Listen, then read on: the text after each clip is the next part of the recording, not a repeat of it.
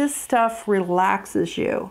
And so you can be so excited about art that you can't sleep, but after you get up at two in the morning and make what you want, then you just sleep sleep like you were a baby with no cares in the world because the world falls away.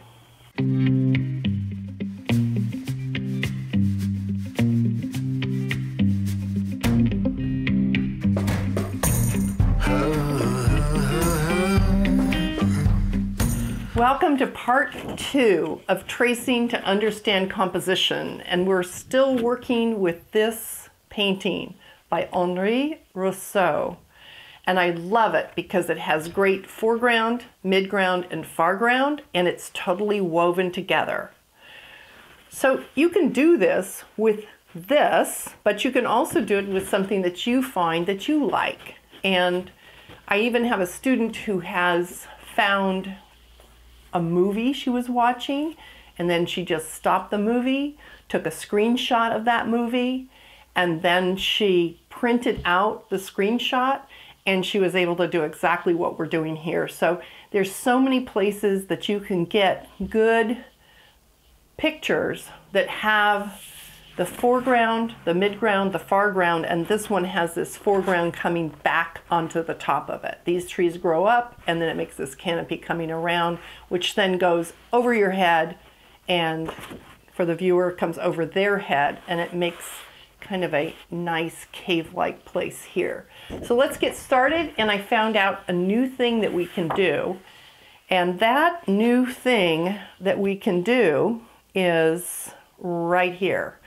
Um, when I was demonstrating this for my students, I was using the marker pen as I did in part one, but this time I have a bigger, juicier, fatter marker pen.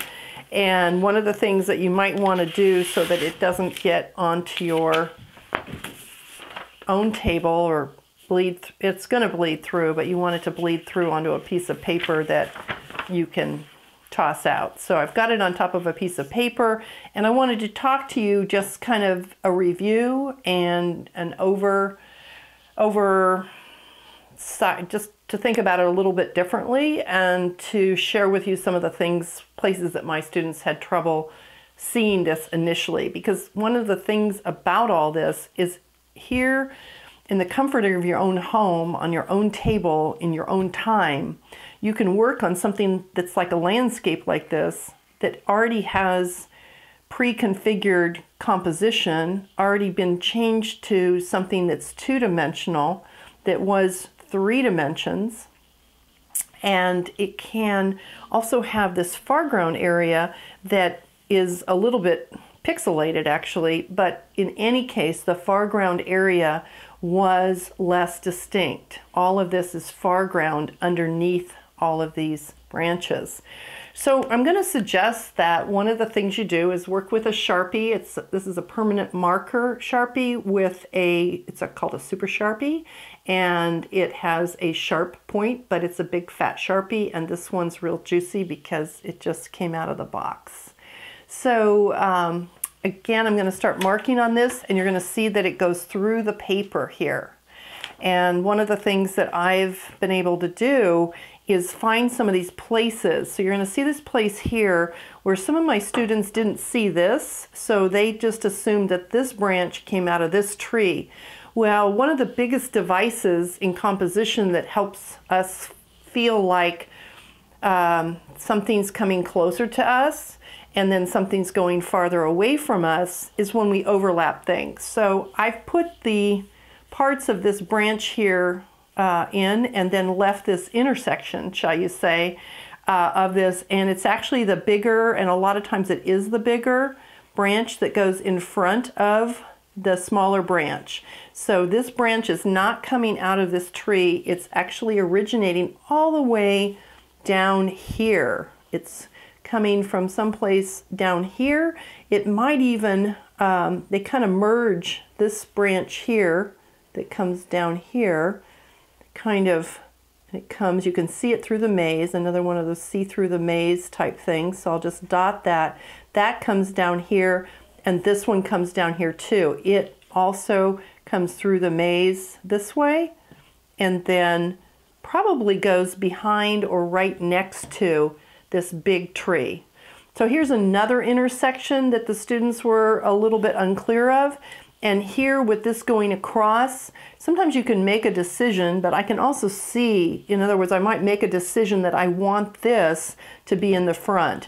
But looking very, very carefully here, I see that it is in the front, so I'm going to make these lines here that show that it goes in front of this other tree. Now this is a good place for you to notice something that is an important thing sometimes, and that is that whatever line you have, so I'm going to show you here, whatever line you have here needs to look as if it's connected to what's on the other side of the branch. Sometimes I'll even just take that and go like that in order to really look at where I want this to look. I'm going to fix that a little bit like it goes under and lines up. A little weird over here because there's a bump underneath here, so you just want to make sure that that feels right for your viewer. Feels right that that's this one is going underneath underneath this bigger branch. And then I'm just going to complete up here. This is one of the things you might want to do is um, be able to, and again, um, oh my gosh, this is a really hard place to figure out who's going to be, I call it who's on first, but who's going to be in front of whom. And I think here you, you almost don't have to do anything because this leaf configuration is going over the top of it. And one of the things about that leaf configuration going over the top of it is that compositionally, even though this is a skinny thing on this side, this is, there's a branch going back here, and then this branch comes here and splits off. All of that, again, coming from this branch over here. So once I've decided this is in front of that, then I can take that that direction. And it looks to me like this branch that goes at least to here goes behind this bigger one. When in doubt, the smaller ones would typically go behind the bigger ones because what's bigger in a composition. Here's another place that you just might not even see that this branch is coming across here. And it doesn't have to be shown too much, but it almost seems like this tree trunk down here, again, you don't have to really worry about it, uh, that this tree trunk somehow comes across here and maybe it even arches all the way around here, which means I might make a little note of that myself for what I'm going to do with it later. But in any case, with all of these different branches, and I, what I'm doing here is deciding this time that I'm tracing this to show you, I'm going to really focus just on the branches and then make the tracing just of the branches to start with. So here I am kind of plow plowing through this now. And again, you just want to take your time with this because whatever you get drawn on this side is what you're going to be dealing with on the other side. But one of the things you might see here is that by doing this, I'm tracing this where I can see it the best. If you didn't have this really see-through tracing paper that I use. Um, and if your tracing paper was a little bit bumpy, like some of it is, some of the brands are a little bit bumpy. Now again, I want this to go in front of this, I think. Uh, I'll just take the bigger branch in front of this smaller branch. And at a certain point, these smaller branches are just the width of this Sharpie pen. And again, it really helps you to keep your drawing grip, went a little wide there.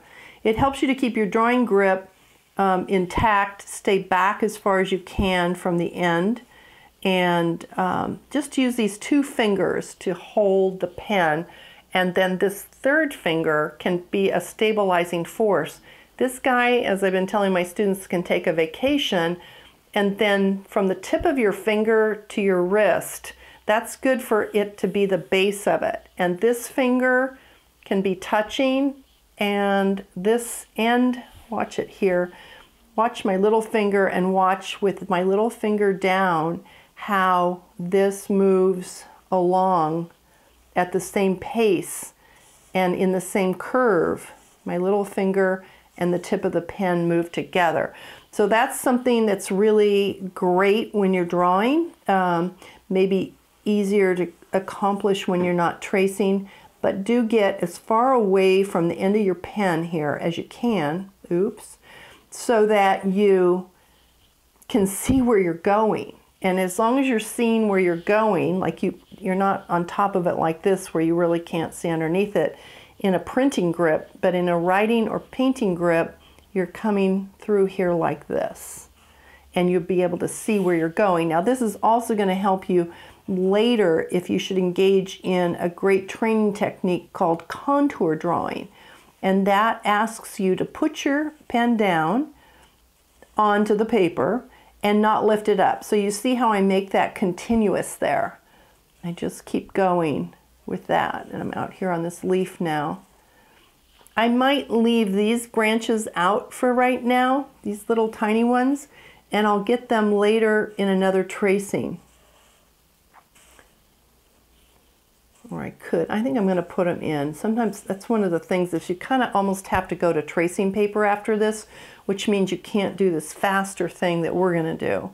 Um, I think it's great to go over these lines the three times that it takes when using tracing paper, but it's also fun to establish your bigger bones here, and that's what I'm going to call it with the tracing of these major portions of the composition that give it this repetitive life of all of these curves. You've got curves and reverse curves, and um, that's the way that this is woven together. One of the things that my students had trouble with is that they would see something like this and then they would um, make it straight. So some of the students that haven't gotten to the point where making both curved lines and straight lines are equally available to them. It's something you have to kind of practice. That some of these lines by people who are more prone to doing straight lines, some of these lines on the tiger that I'm showing right here, right now, some of these lines got kind of straightened out. And that isn't a good thing because this whole composition, the whole composition hangs on uh, getting these lines to match the way the lines are. Those are kind of straight there, but then this one starts to curve and it comes down. So this drawing right on the page like we did before, but now having a Sharpie that shows through onto the back is going to really help us out. Now on those straight and curved lines, this is, uh, let me finish the tiger here I guess. Um, he comes like this, he has a nose like that, he comes down like this. Now here I am talking to you and using these words like nose and teeth and stuff like that, and that can throw you off because you'll start to draw what you're saying. So watch that. This is a place that you're going to have to start looking carefully for what is actually happening because initially, when we start to draw, we haven't been seeing the finer, more nuanced, more subtle. I guess the best word for that is subtle. We're not so aware of the subtle, we're aware of the things, and we're not so aware of the design lines. And um, okay, this one I want to make sure that I get this line on the outside of these lighter inner colors of these grasses. And then I'm going to come down here and finish this tiger's stripes. And the stripes are really what shows you the tiger. That and this line behind it, but this isn't a line. Again, like I said in the part one, we are turning this into a line drawing and then we're going to use a line drawing to guide us as to where we're going. See, this comes out in front of these lines behind here. So I want to get this guy first. So this is where we're tracing the bigger things first and then letting the smaller things that go down behind it, or in this case, it's the smaller thing that comes down from above and goes in front of that, we're going to have those working for us later. Now again, if you just say, oh, there's a line there, you may skip some of the more, here's a good one, curved aspects of it. It's a shallow curve, but it's still a curve. And this is going to help with the relatedness of all things in here. Uh, again, I want to go very much, I'm going on this maize here, I want to stay not so much on the line that it's that the lighter is producing, but I'm staying off on the dark so that I'll have enough room to leave the light of what I'm calling this the maize. I call it's not like a, a maze that you walk through, it's like a type of it's a type of grass uh, that grows, sort of like wheat, I guess, this thing. The stuff, maybe it's sort of a flower. I'm not really sure what, what that is. Um, Again, sometimes just turning it like this and being able to look at it from one side to another. So if this all seems too confusing, don't put it in initially. You'll have to probably come in and get it with the tracing paper later. But this way you can get your main, main bones, your main structure working for you. Now here's another place that you kind of have to take care. I would just um, have this be one line coming up here because it's too skinny to be two. And then this is a place where the size of each of these is really important. And I don't mean to get tight on it, but I do mean to see that this one goes behind this one, that goes behind this one. And so again, if your mind sees leaves, you're probably going to be saying leaves. There you go. And you're going to be making distinct leaves, and some of my students made the leaves too big because they were making leaves, as opposed to following this. All this following this and all this tracing is going to help your hand-eye coordination and your perception and get you to start seeing in terms of the shapes of something, not so much in terms of what it actually is. This is kind of cool here these shapes kind of end up going into being the tiger here. First, they're in front of the tiger. So again, it's a little bit fat down here, so maybe I'll make a double line uh, down there and then bring this up here. Again, we have leaves, but this one just doesn't seem to, I'm not sure where it goes. And when you're not sure where something goes, don't try to take his painting turned into this tonal value print and make it into something that's clear to you because there's um, there's things that play like all of these big things that play main character important big stuff rules and then there's oops I should have said roles like a character plays a role I guess in a way it plays a visual plays off visual rules, uh, which is that the bigger is in the front and the smaller is in the back. Normally I keep my pencil down, my pen down when I'm working here, but in some ways overly tracing these is going to lead to me making these too prominently the thing they are as opposed to kind of the design element that they are, which is very subtle. So this is a good place to look at this upside down because upside down you can kind of squint your eyes at it and see what's important. This line here is a pretty, this dark area right here is good. And one of the things is good to get correct, not just a big, oh, I see that. And sometimes it's good to take your fingers and just feel that or take a pencil and actually go over it just where it's real subtle and you feel it, feel it, feel it before you go ahead and decide what's going to happen there or uh, it, you know, improperly probably like, oh, okay, that's just a hump right there. But you want to get as much of the feel for it as you can as to what's really happening. So here's another curve. Okay, here's another curve. And so you want all these curves in here. And even this, when I've got it upside down, I see this very subtle line coming down here and then splaying out into all of this foliage. So this is this kind of nuanced stuff. One of my students felt she was really done and she didn't have any of this in here.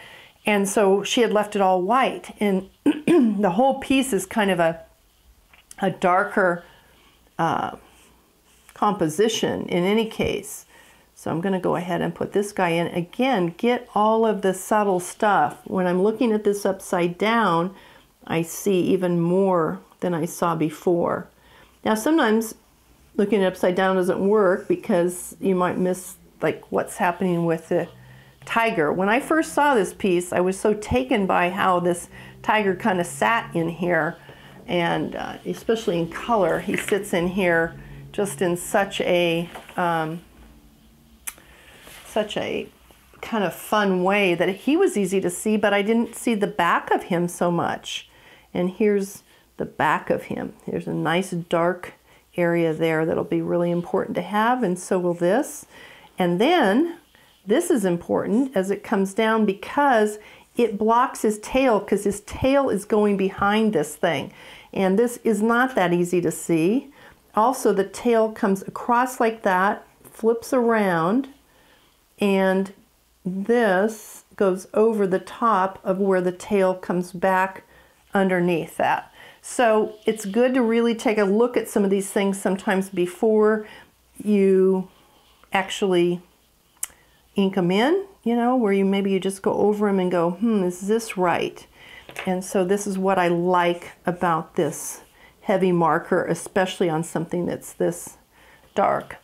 Okay, I think that we're in pretty good shape here in terms of getting most of what's happening. Um, just taking a second look at it to see if maybe I'm missing some things that'll be that I'll wish that I had later.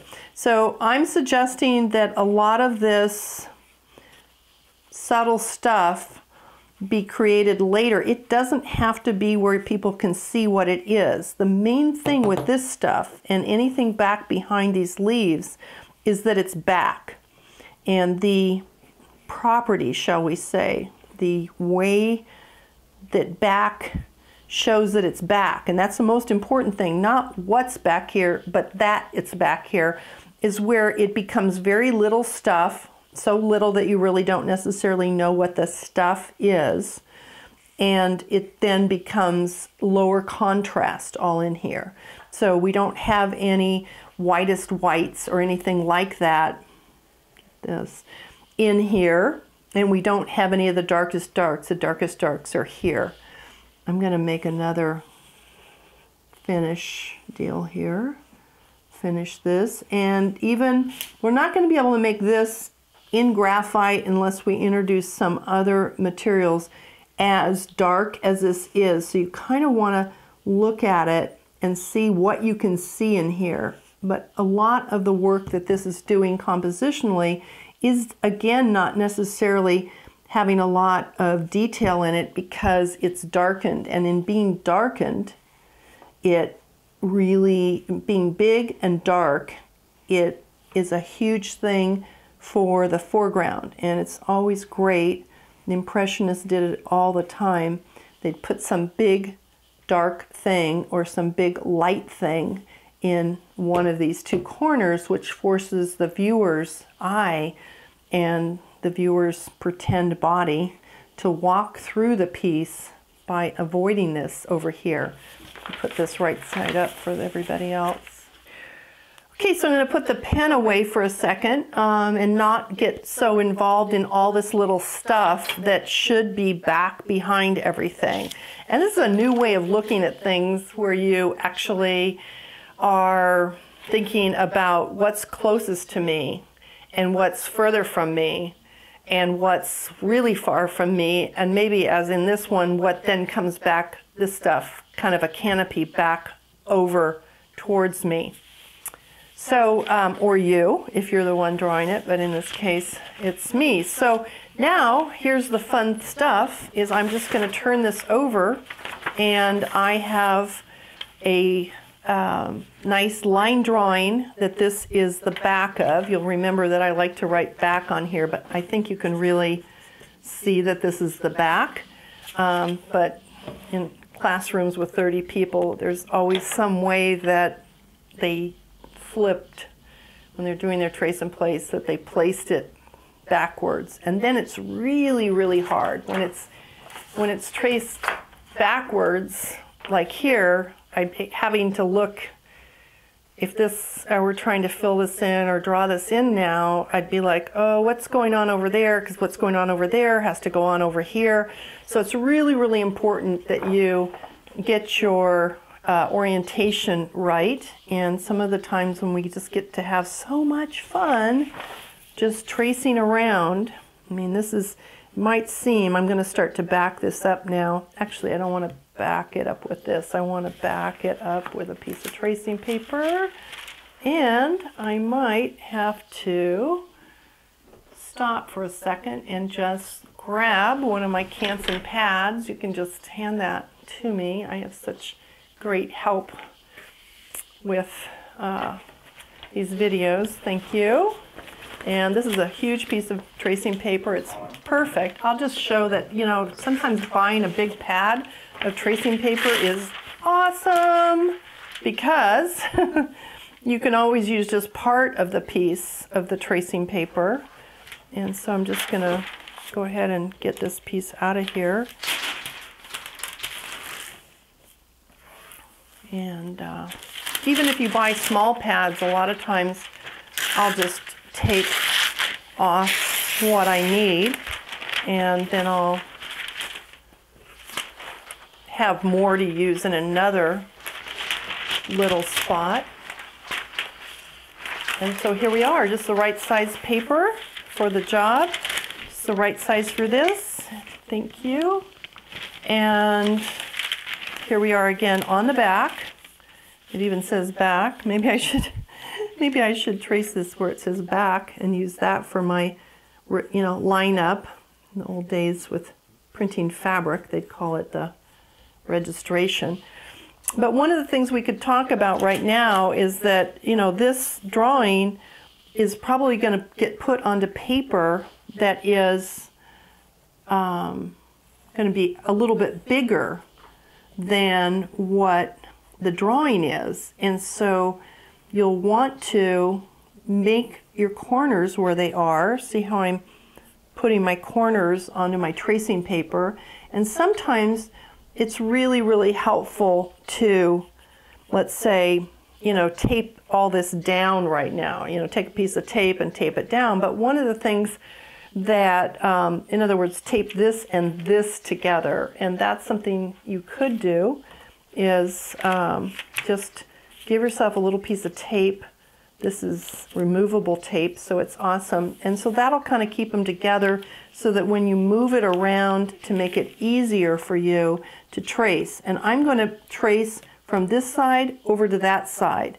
And that way my hand isn't going to, let's see how much junk is on my hand, not too much. My hand's not going to be touching the graphite as I go. And this is a good time to kind of use a, I'm using a 5B pencil. Uh, 6B would be great, 4B would be fine. Um, the B pencils are the softer pencils, I think of B for butter. Butter's not always soft, but if it's left out, it's soft. So these are the B pencils, and they are soft. And because they're soft graphite, they're also darker graphite than the H pencils. So you don't want to be using an H pencil, and for good results, using something that is softer and darker than a Number two, yellow pencil, although some of those can be dark enough. They vary quite a bit. There's, it's not totally standard uh, what the number two pencil is going to do for you. Mm, so fun. And now I'm a lot less, you know, I've got all my, I'm a lot less confused. I've got all of my decisions made about what I think the main characters are, what is closer, and I didn't, one, two, three, four, I didn't, um, those little dots. Um, I didn't try to put all the background stuff in it. All the background stuff kind of lives in in here, and I can. Uh, this is like the fastest I've ever, I think, traced. It's so easy to trace on the back of this drawing where the ink went through. Two, three, four, five little dots, and here I am, and all of this is happening right now. And this will give me a piece of paper that I can then flip on top of my good paper. One of my students last night in class said, I can't, or I guess it was yesterday morning, but anyway, I, she's like, oh, I hate, oh, this is so, what did she call it?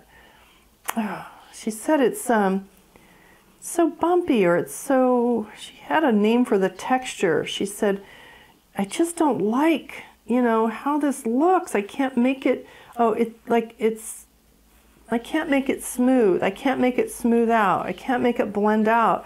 And the thing is, she'd never been on a piece of trace, a piece of drawing paper before. And drawing paper has a texture to it. It has a tooth to it.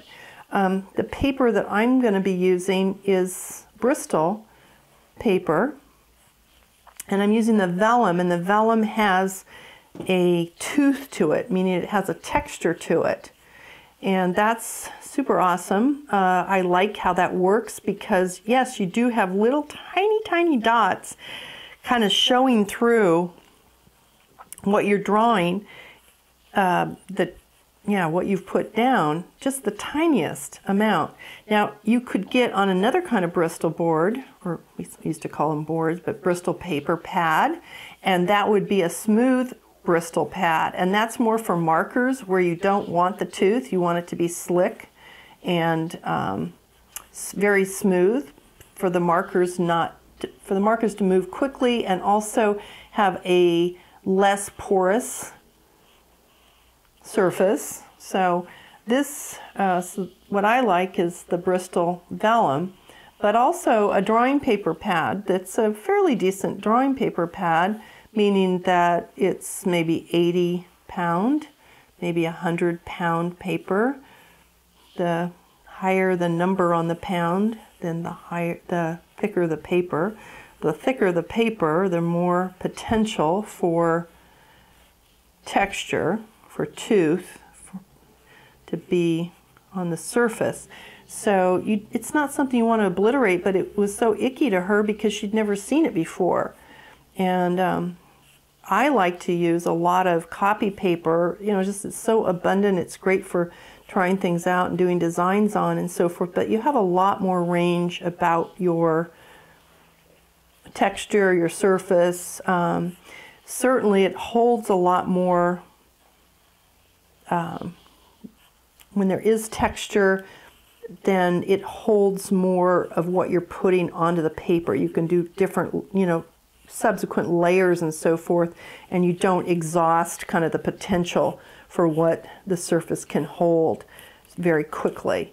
I mean, in the most more extreme, there's the texture, which is more like sandpaper for drawing with pastels, because the pastels will, when you're layering different colors of pastels, they'll not have room to continue to put more and more layers down because it just the paper can't hold it. It's a weird idea that paper can actually hold things, but it can, and the more textured it is, the more the more it holds it. But also the more texture it is, the more the color of the paper shows through what you're drawing on top of it. So I can't remember what she said, but she was just really beside herself because it wasn't what she's used to. And that is so typical of us, not necessarily of her personally, but of all of us. We're like, oh, that's the first thing I say. Oh, this is different. oh, we've changed something here, you know, how do I do that? You know, today we're using a couple of cameras, and so I'm thinking of all of you out there in two different ways because we're shooting from a couple of different angles today. Um, always shoot drawing free. Oops, this isn't drawing free.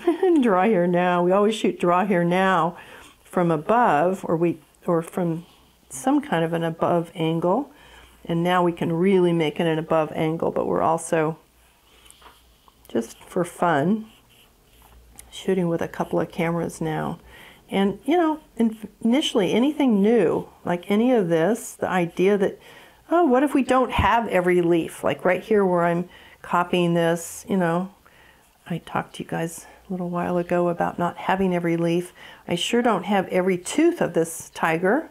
I know his teeth are right here, but I'll go find out how Henri Rousseau did those teeth before I just go and put some fangs in on this tiger. Again, um, you could replace this tiger. Um, in the first part, I was replacing the tiger possibly with this dragon. it's so fun to make stuff up. And it's so fun to have a path, to have a way in. The students are so excited by doing this drawing. This is the first time I've used this in my classes, and they just are ecstatic because they know that from now on they can make up their own pictures.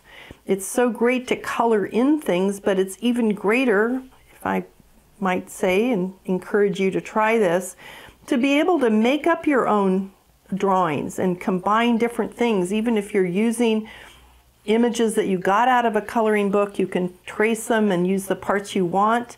And one of the students I have, um, she is really, it's winter time right now, so I'm not seeing her tattoos, but she says she has them. So they're undercover right now, under her clothing.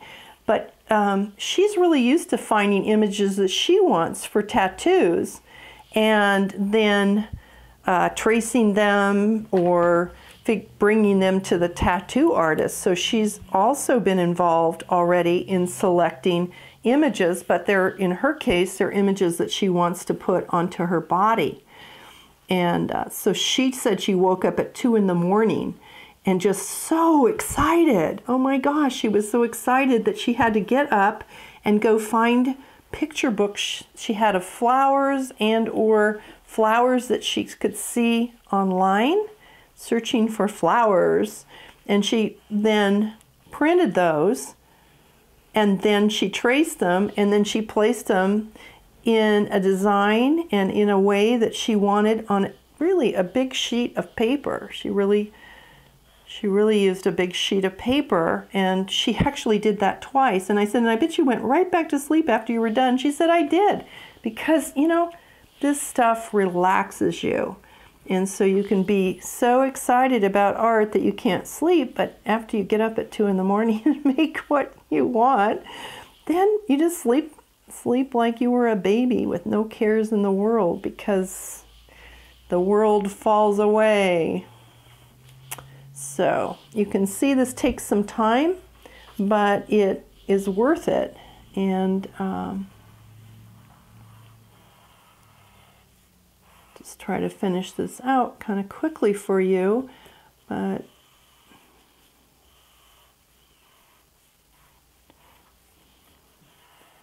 I'm trying to keep up the draw here now idea that we don't just whip things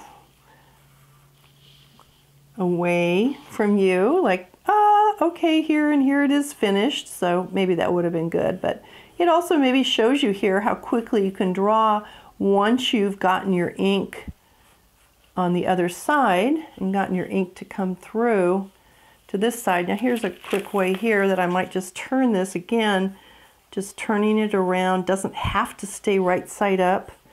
Very exciting. Um, and gives everybody who's willing to put some time into it a way to improve their drawing skills. And I can assure you that doing this um, gives you a relaxed way to make something and also a relaxed way to learn how to move your pencil in all these different directions to see something and to draw right on top of it. Some curved, some straight, some tiny, some bigger, so forth. So here we are. Uh, this one's all ready now to see what happens down here. This is all ready to flip over onto. So this was the they both are going to flip. I'm going to flip both of them over and now this is going to be the front and this guy is also the front and I'm ready to place this see if I've got something good here onto a slightly textured piece of Bristol paper. And this is a really good time to say hey is this the tiger? And is this the tiger? And is this the tiger's butt? And this is the butt? And is this the tiger's tail? Still haven't really seen that tail as well as I really see it here in the color one. I had this color one printed too and I think it's a good idea especially when I think in the third part we're going to talk about how to work the color but this time we're going to work just with a graphite so now again we want to use a little piece of trace of uh, I want to use a little piece. I want to get this all kind of pushed back and just be looking at the edge of my paper. There's a whole, I, am almost thinking there's a whole science to making sure that you have enough room to work and you can move things around while you're working. Um, a lot of times um, my younger students have not had much experience with that. And one of the things I want to do right now is just um, move now I'm going to go to a 2H now for eh, at least just for a second because I just want to push these. The 2H, it's a lot harder pencil and maybe just a number two yellow pencil would be good. Um, but you can get more pressure and move it more easily. You see how nicely these guys moved here.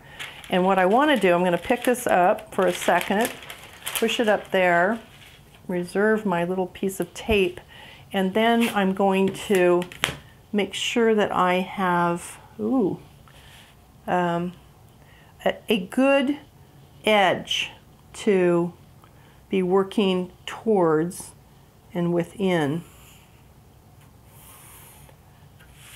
In the interest of time, I'm not being too exacting with this, and I didn't find my corners from the drawing, uh, from the copy of the painting to be as perfect as I expect them to be, but having a nice little right triangle will make things good, I hope. good enough. How about that? Good enough is always just one of our favorite things these days, right? Good enough. And uh, this is getting to the fourth corner. It's like, okay, that wasn't exactly that. But what is close to that is that I have this edge now. And um, that was one of the things that my students are so used to drawing to the edge of paper. And I'm used to trying to get them to understand that we can reformat our paper to be the size of whatever we're copying in this case, or whatever size we want to draw in. And that's a whole nother subject, but it's a good one where we're not always drawing on the same size paper. So now I flip this over and you can see that I'm on the back. Uh, oops. Oh, yeah, I'm on the back and I'm seeing the back, uh, the tiger's pointed this way and the tiger's pointed this way and this back part is all loaded up. I call it loaded up with the um, graphite. So we have graphite on the front, graphite on the back, and sometimes it's good just to check. So here I am, I'm gonna check up here and just make sure that this is, oops, that that's coming through. So you see that right there, it's coming through and we're all ready to go. And I am also going to use a so far. I might change switch off, but I'm using a red, it could be any color, but I'm using a colored pencil. Now this is gonna mess it up for being used again to, let's say, flip this later, but who cares because this is really, and again, I'm gonna just check just to make sure that I'm coming through, and I am.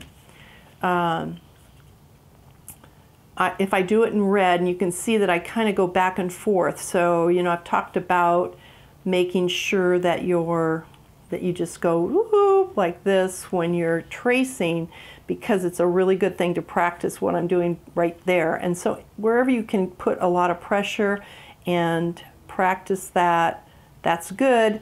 But I also may, you may see me just go back and forth like this sometimes just to make sure that it's transferring. Now I don't want a whole lot of dark lines on the other side.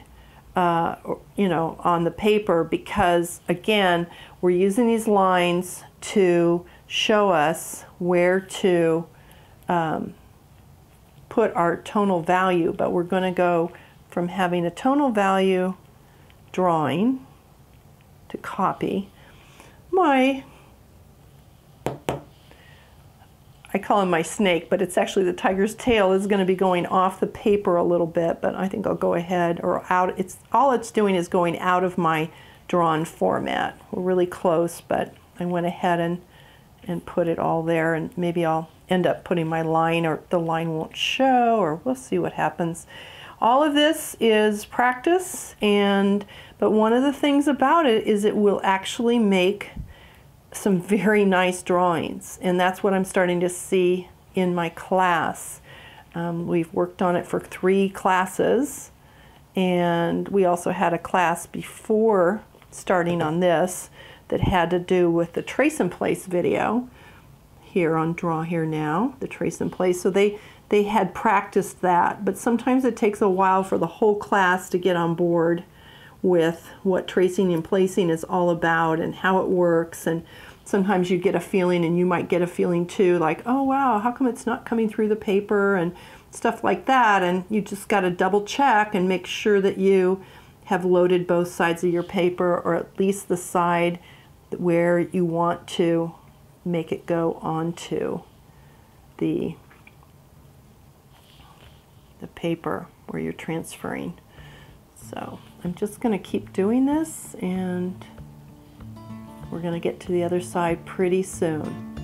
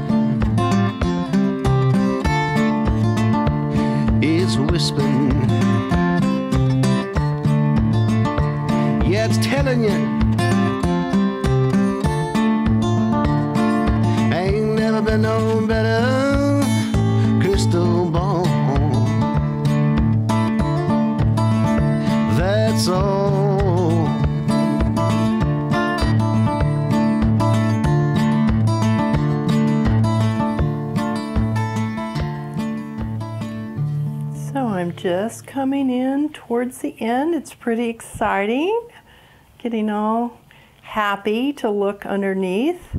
Um, sometimes you see me going over the lines and that's when I feel like I've missed a little bit of the black line that um, is on the other side. This is kind of cool the way this came off of the print uh, just because it only had lines on one side, just on the back. It didn't start with a tracing on the front. So, woohoo! I am excited to see what is underneath and just pull this right off of here and there it is and that's really how it should look it's um, gone from this to this and now I have this really light lined drawing that I can work with my graphite. And what I'm going to want to do here and I'm going to show you this one. This one was done at the this one is on shinier paper. And it was done at the print shop where they had this shinier paper. You might have it but this as well as I don't want to use this anymore because it has too much of the outline on it I want to just be looking at the actual drawing or the drawing in the tonal value, what seems like a drawing even though it was based on this painting, I want to have that right near where I'm working. And that's why it's nice to have another one of these around uh, uh, that hasn't been drawn on so that you can pull this or something like it right up next to it. And if you want to work on the darkest areas first, just because that will keep them dark, keep them intact, because in this piece, this is the biggest stuff, are these dark areas. And I still want to be looking because I've got some information here that I need to look at to see what it is. It wouldn't be the end of the world here if I made this a another divided branch or something like that. It doesn't really matter that you keep it to the same as this, but you still want to use this, what you're working from, as your guide. Now I can start doing my shading in all different ways because I do crazy shading like this sometimes. And I just kind of put it in the middle here. Um, I call it non-directional shading. It's basically baby scribbling and it's easy to do right here on this branch. Um, I can also start to even look on here to see areas that are a little bit lighter, which I'm seeing right in here. And sometimes the easiest for me to get right to the edge is to go along the edge, but what I want you to see here is when I do go along the edge, I don't press and make it a line along the edge. I just bring my tonal value right up to the edge. So this is how you can start to work this entire drawing. And again, if I make this darker to start with, then I can eliminate these lines. I can just, in other words, no, I'm not making it really dark. I'm just making it a little bit darker than the paper is. And when I do that, these lines, even if they are, let's say, as dark as this is, now this is a place, this comes down and it goes up here and then other pieces of foliage come on top of that. And I'm going to kind of leave those areas and uh, be able to make them again trace these smaller parts down here and these places that right now I don't really know what they are if they aren't some of this very basic um, uh, branches and so forth. But I'm just going to get my main branches in here and then I'll be able to um, go in and put the lighter area next to it. Uh, but once I get the dark branches in, then I'm ready to go. And my lines could use some improvement. My um, What I've got going could use some improvement here. I'm going to make this one darker so that it'll go on top of this one back behind it. So I'm going to make this darker because I'm going to need it to be darker so that I maintain what this, the shape of this branch is. And then I'll put this in a little bit lighter. So remember, if you're making things dark, whatever's darkest or whatever's most forward, make it the most dark. And then make what's behind it, like this, lighter. And then I keep everything fairly light so that I can, uh, again, just kind of moving your stuff out of the way so that it's easy to uh, navigate what you're doing and push your paper around um, gently but but firmly and put it into places that will make it just a whole lot easier for you. Now I can also see, oh no, I see what I didn't get in here, but I can kind of see it is uh, this side of the tree. Again, because it had this going over the top of it, so I've got this side of it. And then you can kind of start trying to just draw in a little bit of this foliage that comes down because it's a little bit unsure. I'm a little unsure of what's going on there. And then I see that, okay, here's the edge of my tree. And it's very, very light there, this edge of this tree. And it's going to come down to here. Start seeing this. And again, using your fingers to trace, like I'm using my right hand because I'm left hand, I'm going to use my right hand to kind of trace over what I want to be drawing with my left hand. And this is something that you can't do except for when you have a photograph, right? So this is all going to be a little bit darker in here underneath this foliage, but I want to really understand the way this part of the tree comes down and how dark it is. And I'm going to do that so that my eye connects right in here, and you can see that I'm touching it here, and then goes down through these little dots that I put in here for the tracing and comes down to this tree. And there's just the tiniest see I wouldn't have put that in before. There's the tiniest bit of light there. And so I've got to actually look at it over here so that I can make it over here and this line of light for the edge of this tree because the edge of the tree is going to be the tree is going to be dark over on this side. And then I have this little slip of light that comes in through here but then proceeds over here to make the edge of this lighter foliage. And so again touching it with my right hand and drawing it with my left hand, or if you're right-handed, then it would be touching it over reversed, and I might have started over on the other side, over here, right hand,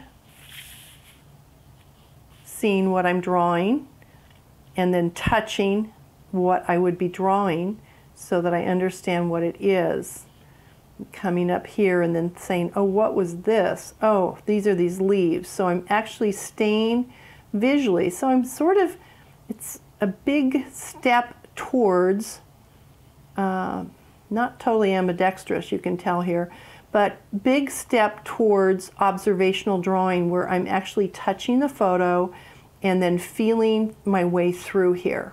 Okay, so that gives you a little idea about right-handed, not as precise as I can be over here with the left hand.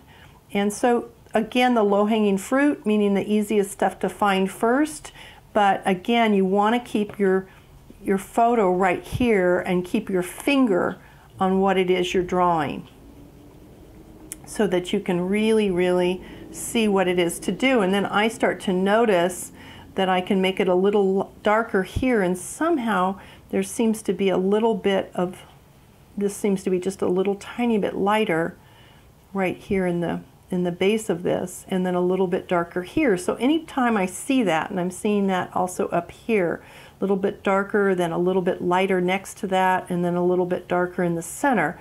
And that all hangs with stuff that you'll read in art books or maybe you already have about the core shadow. And so here it is in the center of this of this trunk branch. It's a branch. It's practically still the trunk.